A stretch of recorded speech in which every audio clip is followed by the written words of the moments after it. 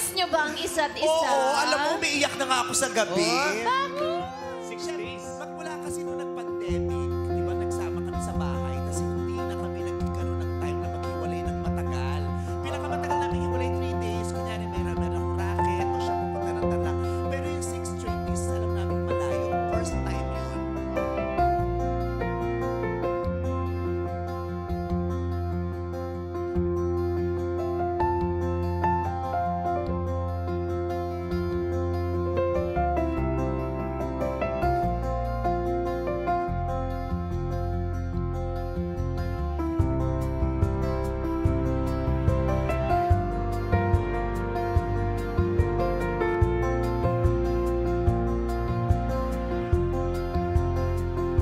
Magmula kasi nung nag-pandemic, di ba, nagsama kami sa bahay, kasi hindi na kami nagkikaroon ng time na maghiwalay ng matagal.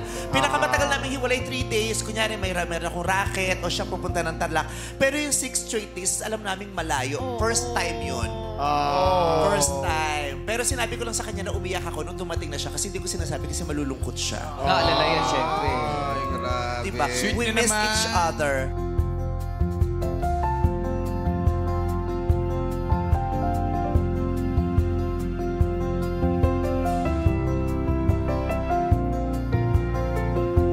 Kasama ko yung pamilya ko kasi nung wala siya. Diba? Cute nyo. Balance. Nagpunta siya ng Japan, Tama. kasama niya yung pamilya niya. Nagpunta naman ako ng Bohol, kasama ko Oo. pamilya ko. Oo. So, bala-balanse, time with our families. Importante rin yun. Ganun. And then, back in each other's arms. Ganun.